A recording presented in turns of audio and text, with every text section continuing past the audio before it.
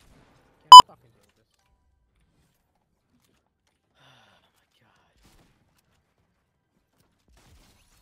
Literally